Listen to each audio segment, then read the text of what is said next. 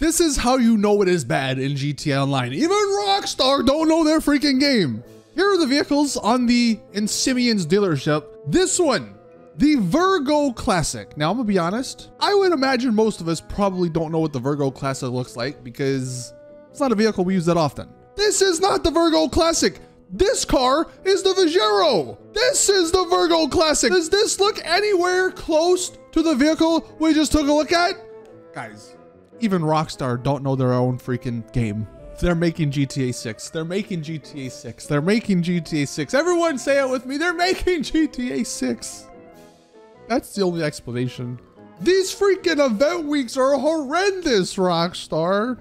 Like, do they not want us playing their game? It's the weirdest thing that's happening right now. The game is in a lull. We've kind of gone through all the drip feed of the DLC. So surely instead of, you know, new content releasing, Rockstar should be putting out double money on a bunch of stuff. Maybe giving bigger discounts, like actually good discounts on a bunch of stuff to get people to play the game, to get people to, to spend money but, but no, we're getting the same things over and over again. I just don't understand. They genuinely don't want people to play this game. Is it because GTA 6 trailer is coming out sometime in the next couple of weeks? God, I hope so. It's probably not, but God, I hope so.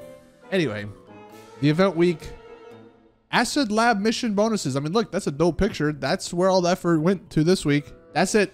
There's the hard mode event still happening. That's going on for one more week. Of course, though, the main thing, like we just saw, was the Acid Lab bonuses. So you are uh, going to produce double supplies all week long. So that's definitely good. You like making money.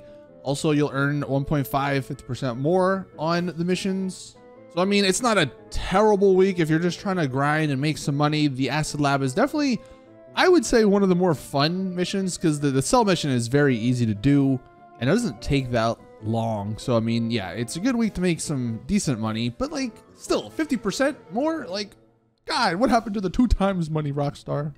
Anyway, we've already talked about the hard mode event. That's still again going on for this week. You can get all these little exclusive clothing items if you complete uh, any of the things here. This is how they're drip feeding the event weeks. The Toundra or Toundra, whatever, Panther, one of the probably cooler looking sports cars from the DLC that was a limited time vehicle a couple weeks ago is now back and it is still a limited time vehicle. It is only in the game for this week. So that kind of sucks, but it is a fun vehicle. It is a good vehicle. Um, if you have extra money, I maybe would pick it up. It's, it's a it's a pretty rare vehicle because it's the only Toundra made vehicle. So that one is cool. And then the rest of the event week is kind of trash. Deadline two times. I mean, Deadline is fun. So maybe we'll get some people playing that adversary mode this week. Two times money if you win. On the dealerships, we have some interesting vehicles. None of them have anything really special going on with them. You have some good vehicles here, the Virtue and the Champion.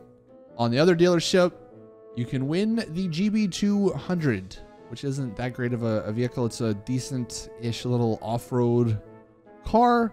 And this is how you know the prize ride isn't that good. They don't even have a picture of it. So you can get the Verlier super old uh, sports car by placing top five three days in a row. That's also how you know it's not a good car. It's like the easiest thing to do. Top five, come on. And then the only discounts we got this week, the Torero XO, the Tahoma Coupe, the Draugur, and the Locust. All of those are 30% off. Now there is a new GTA Plus month and check this out. This is this is hilarious. You get a freaking slam truck. Guys, you're paying six bucks to get a to get this piece of crap. You can't even put a car on the back of it. It would be cool if you could put like a personal vehicle on the back of it and then drive your personal vehicle around. You can't do that. This is what I'm saying. Rockstar, what is going on? The actual GTA Plus month, though, it, it goes through June 7th you get some chameleon paints, which we'll take a look at. But uh, yeah, a free Vapid Slam Truck. Like, people are paying Rockstar six bucks a month and they slap them in the face with this. Dude, any other car would have been great to get for free other than this piece of crap. Uh, the chameleon paints, though, let's see. I guess that's one of them. A, a purplish looking paint. Let's see. It's the purple pearl and the red orange flip. So I guess we don't get to look at the red orange flip, but those are GTA Plus only. which kind of sucks. Maybe one day everyone can get the chameleon paints. You also get a complimentary drone station for your arcade. All right. That's probably one of the most useless things in the game. I mean, it's a cool little feature, but it's it's just useless. You don't really ever get a chance to to use it that much.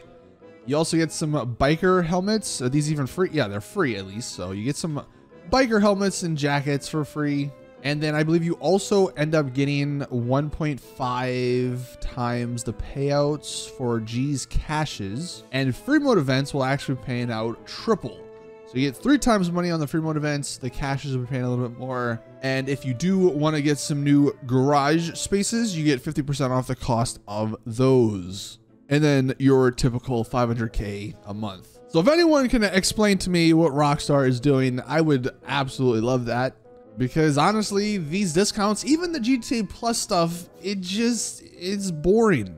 And it's crazy to me that Rockstar would want people to think that way about the game that they're trying to make money from.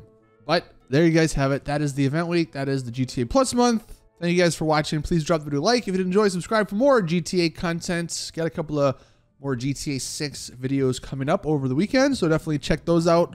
But that is going to do it for the video. Thank you guys for watching. And as always, I'll see you all in the next one.